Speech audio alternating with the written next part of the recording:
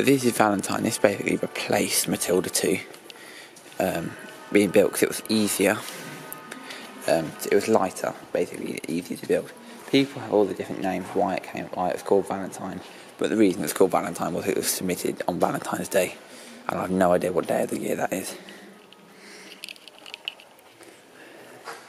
Six pounder, so 57 millimeter gun. Um, this is a good gun actually, very good gun. But unfortunately, it was a bit out of date being 57 millimeters at the end of the war. So this is Comet. This was a tank that's used on the Victory Parade through Berlin in 1945. 77mm high velocity gun, which is basically a slightly smaller version of 17 pounder. 100mm of frontal armour. This was only very few of these ever saw service actually in World War II. It was a good tank.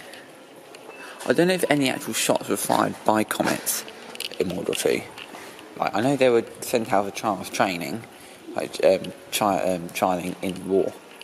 This was a good tank, very basically based on the development of Crusader, Cruiser, um, Cromwell. But the only one of the main differences you can see is the exhaust layout. You go around and look at the back actually. So you got same same Christie suspension. Is it Christie suspension or was it actually torsion bar? I think it's still Christie.